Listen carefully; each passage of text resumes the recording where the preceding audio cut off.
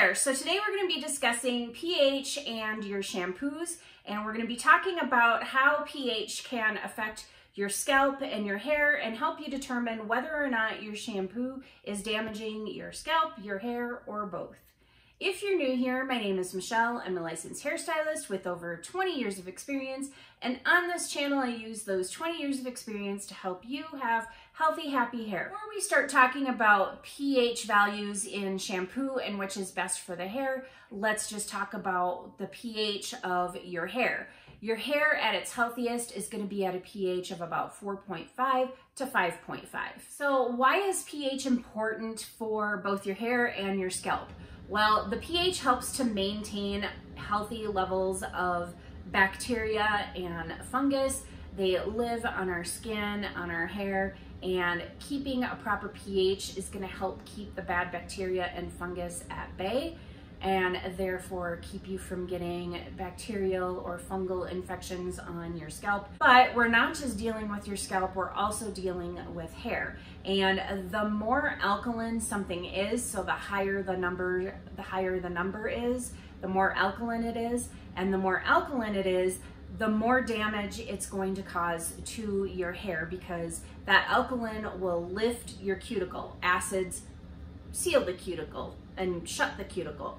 And so anything that is on the alkaline side is gonna raise your cuticle and the higher the alkalinity, the more it's gonna raise your cuticle and it's going to help deteriorate the structure of your hair. It'll become weaker, more brittle, and it can get to the point where it starts to fall apart and it'll cause a lot of damage the higher the number gets on the pH scale. So it's important to make sure that the shampoos and conditioners that you're using on your hair are more on an acid level so that you can seal that cuticle back down and keep it closed and help maintain the moisture of your hair. So when you're searching for a shampoo, you're gonna wanna try to find a shampoo that is somewhere between 3.6 and 5.5.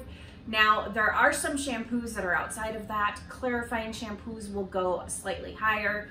My favorite clarifying shampoo is a pH value of 9, which is definitely more alkaline. However, it, it is formulated that way so that it can remove all of the bad stuff from your hair that you definitely don't want in there.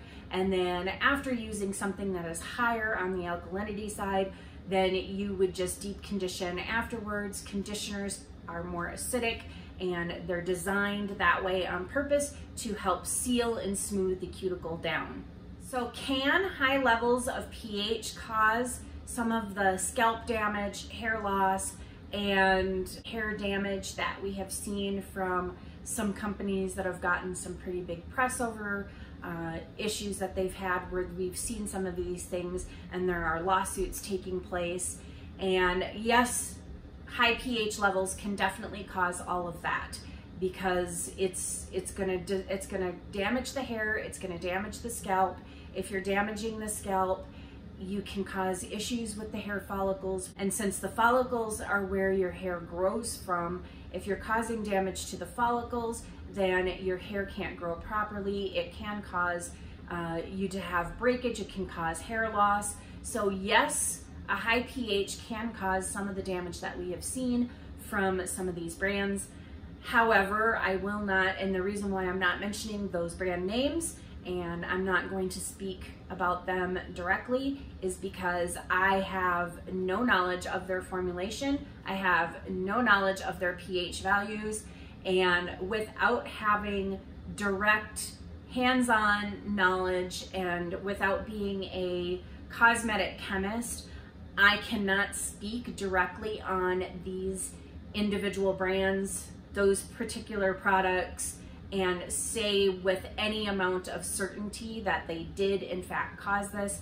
That just would not be ethical on my part to give you a definitive answer that yes, this is what caused that. That would definitely not be responsible on my end to say something like that because I do not have the knowledge and the information in order to be able to say that at all. So that is not something that I am going to do. I am not going to say definitively that's what it is because I just don't have enough information and I am not in a position to be able to make that call and to say with any amount of certainty that that's what that is. All I can say is that higher levels of pH can cause breakage, can cause weak brittle hair, can cause dry hair. It can cause scalp issues, and can cause breakage and hair loss. That's what I can say. So when it comes to finding products that are within the proper pH levels, so I had to do some digging here because I don't typically think about, know, or look up the pH levels of the shampoos that I use. I go by feel. I definitely, after 20 years of doing hair, I know what it feels like when alkaline has hit the hair. I know what that feels like, what that does to the cuticle. So I go by results when I try my shampoos. And if I can feel that on there, I definitely don't use it again. So that's how I choose shampoos is strictly by results. And the other thing is, is that prior to this channel, I have used the same shampoos for a very long time. I just maybe alternate back and forth or I rotate things around.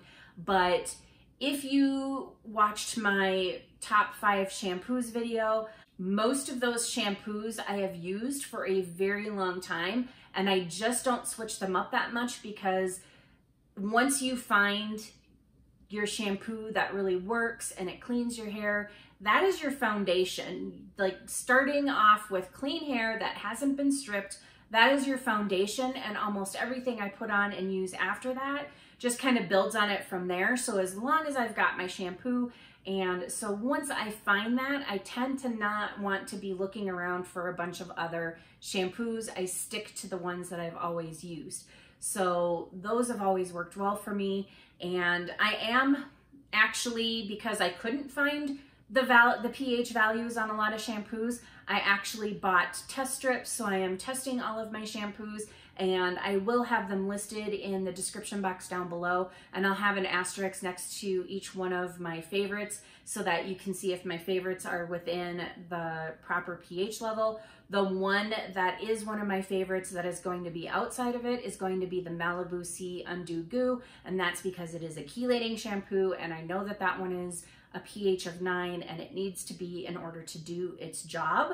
But everything else I have already tested for my favorites anyway, I've already tested and they are where they should be. They're all at about a 5.5. So I will have a list of that so you can see all of that so that you know what the values are when you're reading through my list and you're watching my video about the top five shampoos. So something else that I came across while I was trying to find pH values for the shampoos, I came across a study that was done where they actually tested shampoos and they tested anti-dandruff shampoos, they tested what they called commercial shampoos or popular shampoos, and then they also had professional shampoos. So my guess is what they're calling commercial and popular is actually like drugstore shampoos, and then they went to the professional ones. And in the study, 75% of professional shampoos that they tested were within the correct range.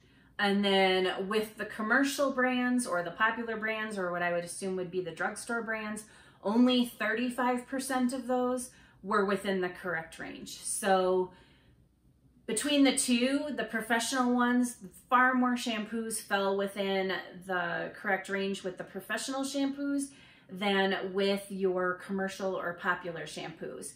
And I'm gonna leave that study down below so you can look at it yourself. And I have to say that in my 20 years of doing hair, I find this to be consistent with what I've seen when clients would come in and they've been using drugstore shampoos and then I've switched them over. There's definitely a difference in the condition and feel of their hair once they make that switch. And I can always tell whenever they went back to the less expensive shampoo or the drugstore shampoo, whatever it was they were using. I could always feel it when they came back in. So that's part of the reason why I tend not to try a whole lot of affordable shampoos on here is because it is something that I have seen time and time again over my 20 year career that when people use professional brand shampoos, their hair definitely had uh, a better feel to it, was more manageable, less damaged, and it was a lot drier, more brittle, more fragile, and roughed up when using the less expensive, more affordable type shampoos. Now saying that doesn't necessarily mean that every single affordable brand is